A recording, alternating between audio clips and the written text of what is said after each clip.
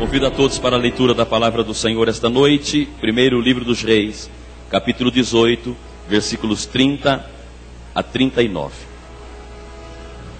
Segura na mão de quem está perto de você, dá uma balançada nele assim e diga: Deus vai te preservar vivo durante a seca.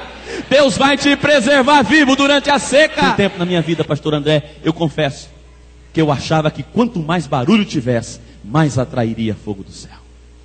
Teve um tempo na minha vida que eu achei que quanto mais você agitar, eu compartilho com você, eu confesso, abro o meu coração para você.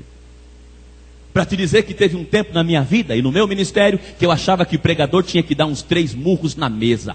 Pá! Pá! E o povão. Uh!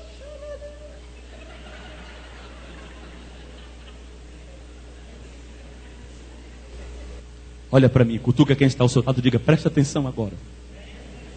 Sabe quando vai descer fogo do céu? Quando você por completo for dele.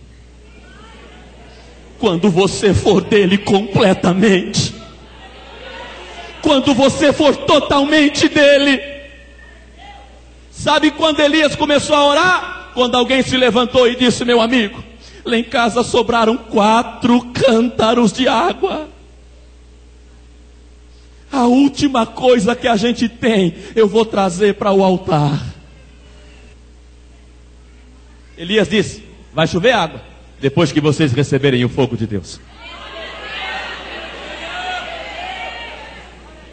Deus vai curar todas as enfermidades. Quando primeiro curar a nossa alma, Deus vai lhe salvar de todas as dores que você tem, depois dele salvar a tua vida a tua alma, depois de um avivamento para o teu coração. Quer água? Receba fogo. Queremos água. Toma fogo. Depois da purificação, depois de Deus queimar todo o pecado, então ele vai responder às orações. O texto diz que Elias sobe para o monte e diz: Ô meu mano, dá uma olhadinha ali se pintou alguma coisa. E ele volta dizendo: Elias, eu vi uma nuvenzinha. Quando Elias viu aquela pequena nuvenzinha e as primeiras gotas caindo do céu, Elias disse: Isso é um sinal. Pergunta: Que sinal? Fica de pé comigo. Quando Elias viu aquela nuvenzinha se aproximando raios cortando o céu, as primeiras gotas caindo e o vento assolando a terra. Elias disse: Isso é um sinal. Se você perguntar, eu falo. Sinal do quê?